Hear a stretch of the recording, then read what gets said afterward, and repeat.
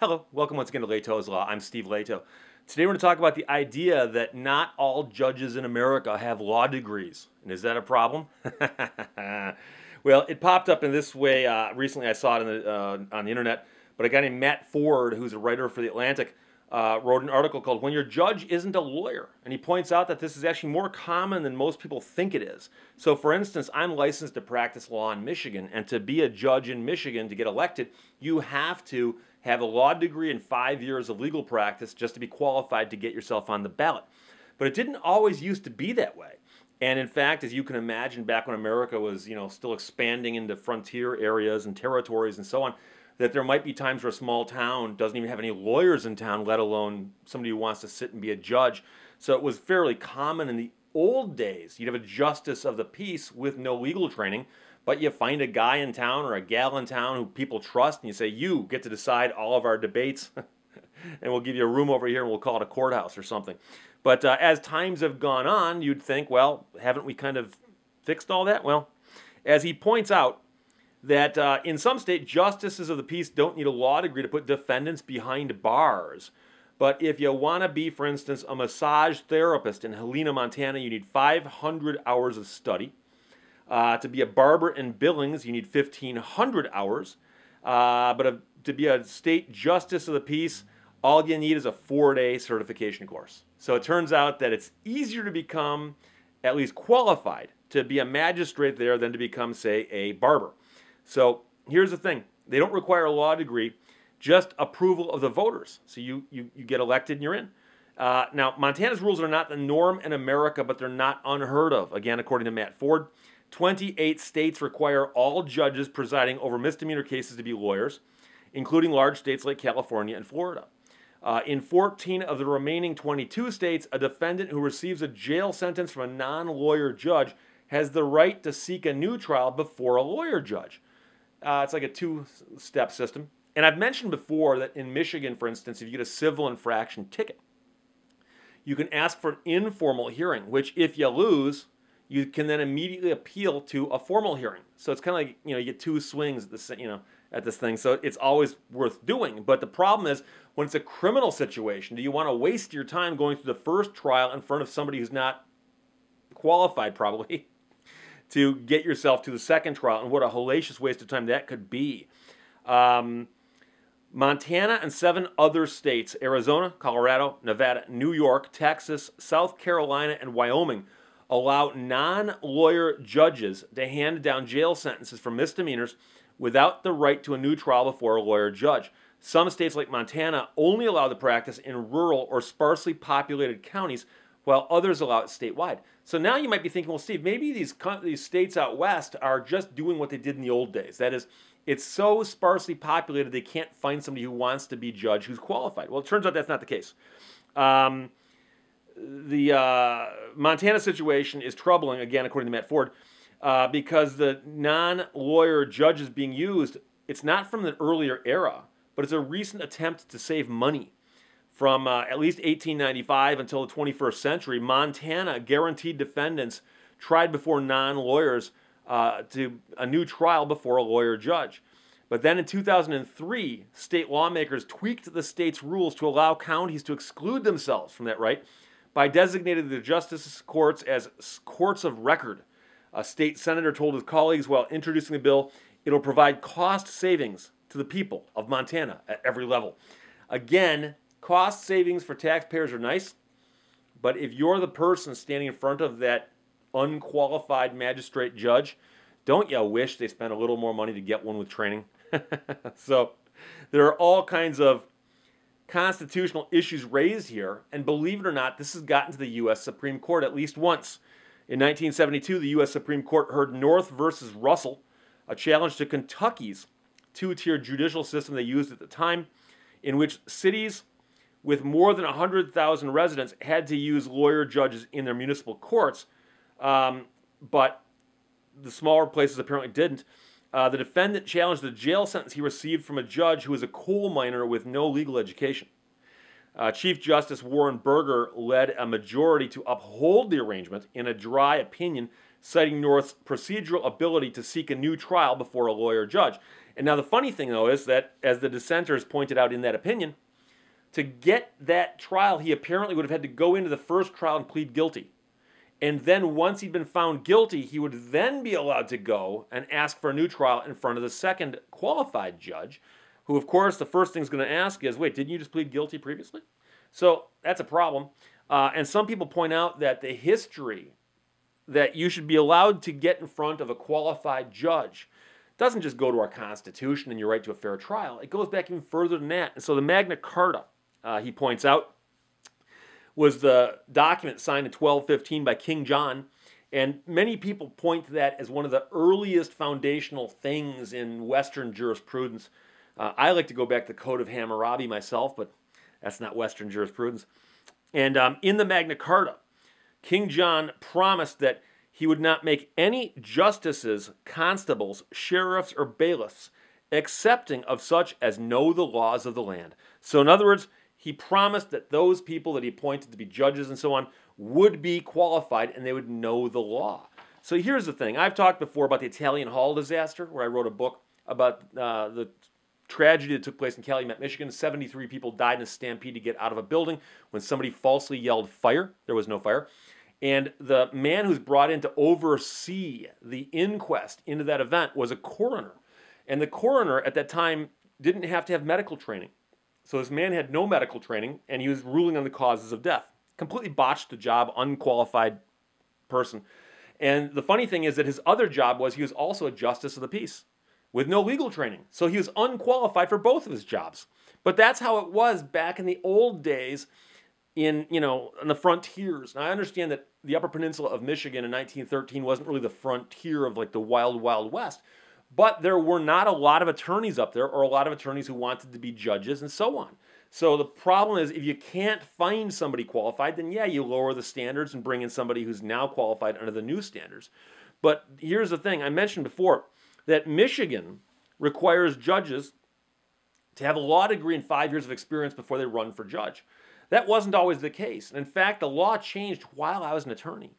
In 1996, five years after I got my law license, the Michigan Constitution was amended to require that before you could run for judge, you had to have a law degree and five years of legal experience uh, as an attorney. So the interesting thing is the way our Constitution is written, it says you can't run for judge. But if you're already on the bench, and believe it or not, at that moment in time when that law got changed, I seem to recall there were at least two judges who had simply been there before the law changed who had no legal training. And they simply ran for judge and they got elected. Now, here's the thing I know there's people out there right now who are saying, Steve, but wouldn't our legal system possibly benefit if the right people were appointed judges and they're smart and they're fair and they might not know the law? but they have a sense of justice or they understand the community or or something. And here's the thing, I see what you're getting at, but the problem is that the law is too complicated for that.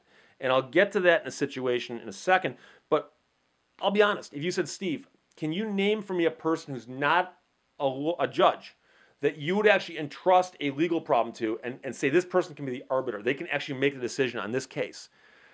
Yeah, I can think of a few people that I would trust to do that. But of course, does the other side, who I'm disputing with, will they agree to that same person? Uh, but again, what's really the problem is that our law is, is too complicated for somebody who's got no legal training. And I'm going to give you an example. And I know there's attorneys in the audience, but I'm, I'm trying to give an example that non attorneys will understand. So, in the courtroom system, okay, a judge has got to oversee a court and oversee trials. And so a trial's taking place. There's a witness on the stand and the attorney doing the direct asks the witness, Did so and so tell you something? You don't need to be an attorney to know the other side's going to jump up and object and go, Hearsay! I object. That is hearsay. It calls for a hearsay answer, Your Honor. And the attorney will then look at the judge, and the judge will then look at the other attorney and say, How do you respond to the objection? Does this, in fact, call for a hearsay answer? And the interesting thing is that Michigan's courtrooms, among other things, are ruled by the rules of evidence, Michigan's rules of evidence, MRE. MRE 802 specifically says hearsay is not admissible except as provided by these rules. Except as provided by these rules. So you go, wait a second. The rule says it's not admissible, Except there's exceptions. Oh, you bet there are. So 802 is the hearsay rule. 803 is the hearsay exceptions rule.